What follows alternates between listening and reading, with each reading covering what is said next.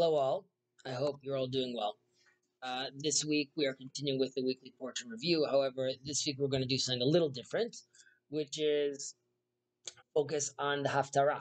So, this weekly uh, portion, which is the last portion of the book of Leviticus, is called By My Decrees, Bechukotai. And it speaks about what happens if we listen to God's commandments, what if we don't listen to God's commandments, and the ramifications. Uh, however, the Haftarah is a passage from the book of prophets that is traditionally read uh, publicly on Sabbath, and this is following the conclusion of the Torah portion reading. Uh, there's a dispute sort of when this uh, when this tradition emerges. Some say at the end of the of the prophetic period. Some say it's um, uh, Ezra, the scribe, uh, institutes this, and others say that this is because there was a time, a period of time where uh, Jews were persecuted for or, uh, or, prohibited from learning the Torah.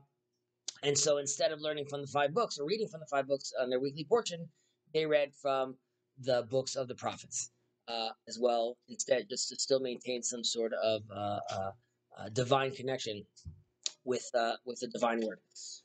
and so this this week, I'll mention one more thing that Jesus himself, and this is one of the, the first evidence we have of the reading of the Haftarah, we see this happening in uh, Nazareth, I believe, when Jesus is in synagogue and he's reading from the book of Isaiah. So that would be Haftarah.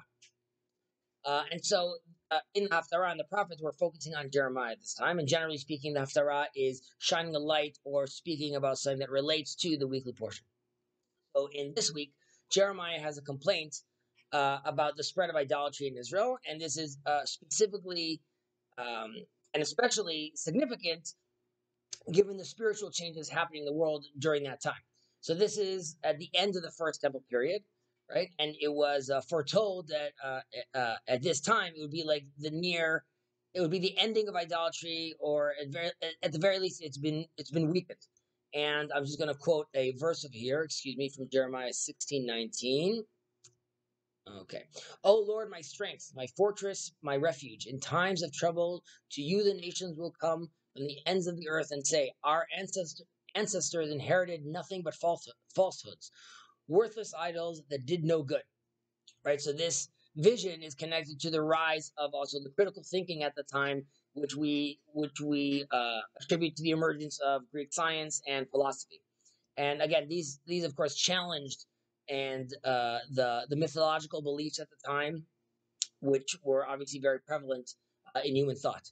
Uh, and uh, the, the the rabbis, the sages, and the Talmud also indicate that this is this shift is happening during the departure of the divine presence, right, which is symbolized by this great fire from the Holy of Holies, and this is the end of prophecy, which uh, indirectly leads also to the decline of idolatry as well, right? There's a grain of truth inside idolatry, which we're feeling God's presence, the holiness in the world, and we're trying to connect to it through different avenues. So when prophecy leaves, also the stronghold of idolatry leaves as well because those those true elements sort of are removed from from uh, this plane of existence. And one has to ask though, it's a little puzzling. So when a world where idolatry is losing its relevance and its grip over us, uh, the people of, of God, the Israelites, are still being drawn to it.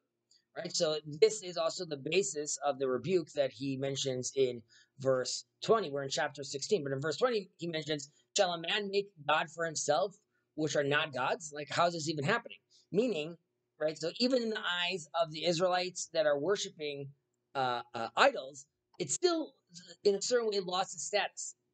So, there's a certain sense where there's a positive there, there's a positive element to the stubbornness of the Israelites, right? We're called a stiff-necked nation, and we, are not easily swayed to repent, and we're not uh, easily impressed by rebuke, as we see in the books of Judges as well, and all throughout the uh, the the forty years in the desert. Right? We need to really be convinced by the intellectual strength of the rebuker's arguments or the prophet's arguments, and it's not just their style. And the the stiff necked nature of the people of Israel also forces their history to be filled with extremes crises, ups, downs, destructions, the temple is being rebuilt and then being destroyed again. And this also forces their identity to change as well. So Jeremiah tells us in verse 21 Uh, Therefore, behold, I will this once cause them to know. I will cause them to know my hand, my might, and they shall know that my name is Lord.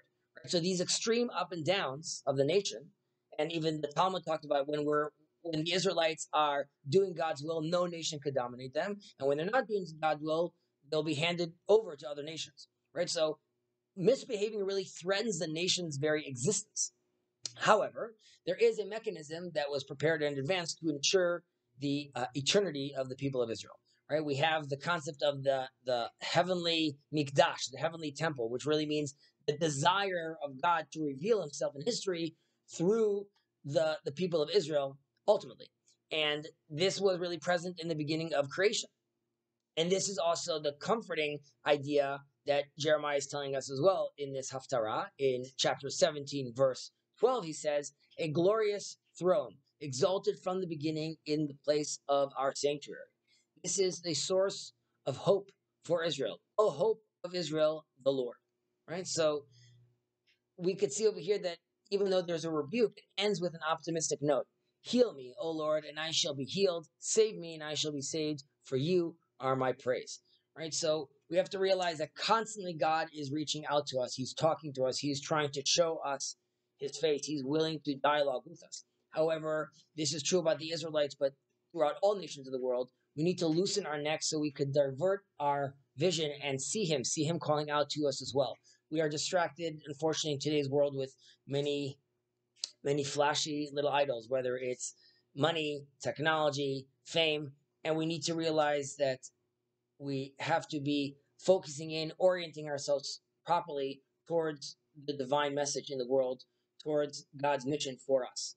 I wish us a Shabbat Shalom and a uh, um, weekend of clarity and tranquility.